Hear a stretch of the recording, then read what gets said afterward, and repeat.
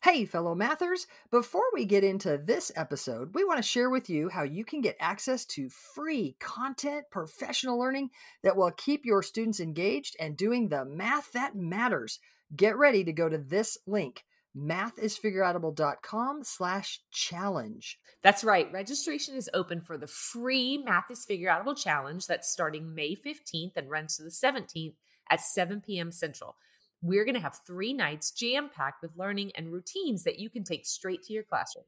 In these challenges, we have a great time. We do some math, talk about classroom experiences, give away super cool bonuses and prizes. You won't just walk away with routines that are naturally engaging and encourage your students to think mathematically. You'll also have a chance to win over 6K worth in prizes, including a few virtual PD sessions for your school. I'll be joined by my wonderful co host Kim and special guest Jenna Laib.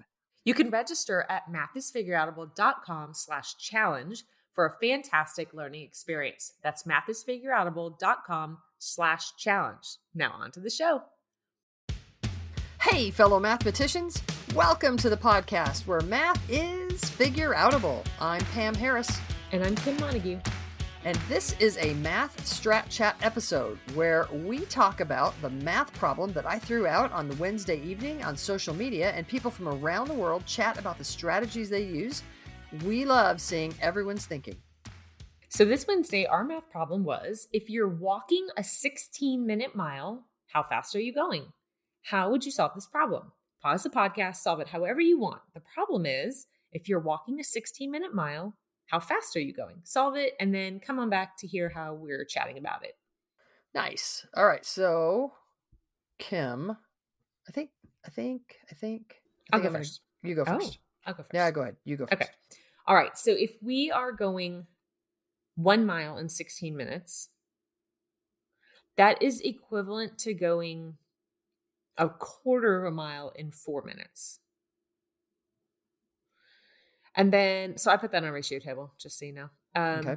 16 to 1, 4 to a quarter. And then I know I can get from 4 to 60, kind of like I did last week, times 15.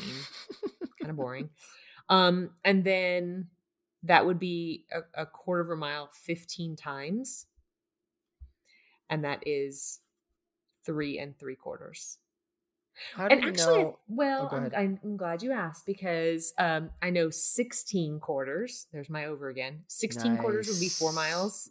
So nice. 15 quarters is 3.75.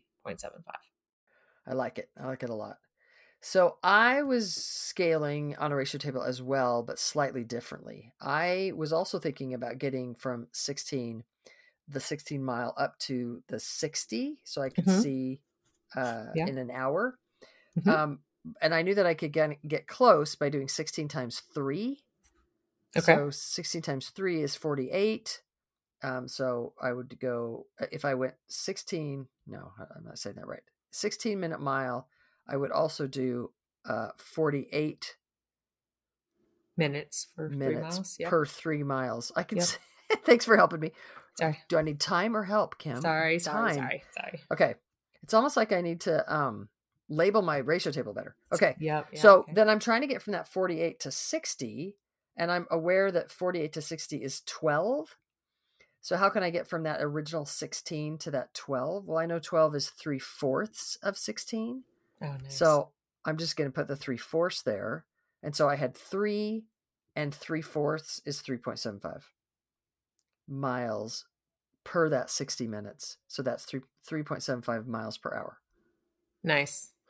Hey, like but it. Kim, I have another way to think of it, okay. which maybe I just should have done since I kind of got stuck there with the labels. Well, hang um, on a um, second, because because I didn't put any labels on my ratio table either. Oh. And I was getting a little bit stuck on is it miles, is it minutes? And so when you said that, it was like a nice reminder to me too that sometimes we need to like record the context mm, so that nice. we're not living in these like just random numbers being thrown around. So just, I, I just naked, just running yeah. around naked. We want to run around naked when we can be in context. Every time yeah. I say that, my mom shakes her head.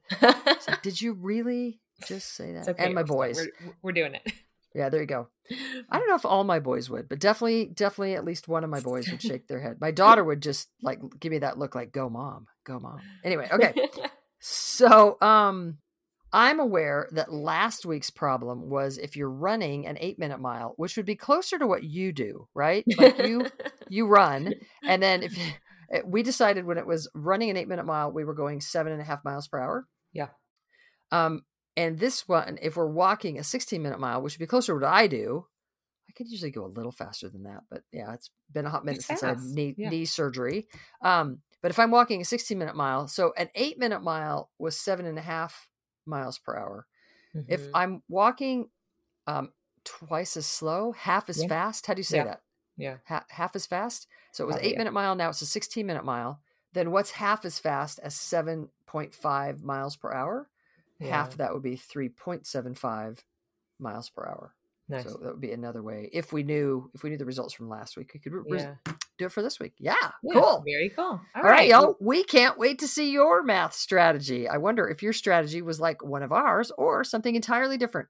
Represent your thinking, take a picture of your work or screenshot your phone, and then tell the world on social media. And while you're there, check out what other people did and make sure that you comment on their thinking so we can spread this idea that it's about the thinking, the way you're reasoning, not just and it's fun for people to see you comment, right? Absolutely. All right, tag Pam on Twitter at PW Harris. Did I just say that? no, you're PW yes. Harris on Twitter. and on Instagram, Pam Harris underscore math. I'm taking over, or Facebook, Pam Harris, author, mathematics education, and use the hashtag MathStratChat. Chat. And then check out the next Math Strat Chat problem that we'll post sometime around 7 p.m. on Wednesdays. And then come back here to hear how we're thinking about the problem. We love having you as part of the Math is Figure Outable movement. Let's keep spreading the word that math is figure outable.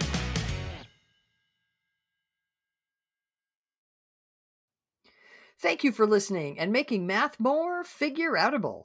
To learn even more, make sure you register for our free challenge at mathisfigureoutable.com slash challenge. You are not going to want to miss the evenings of May 15th through 17th, starting at 7 p.m. Central. Math teaching, math teaching, go register now. That's mathisfigureoutable.com slash challenge. Join us to make math more and more figure outable. And if you can't join live, register and we'll send you access to the recordings. We'll see you there.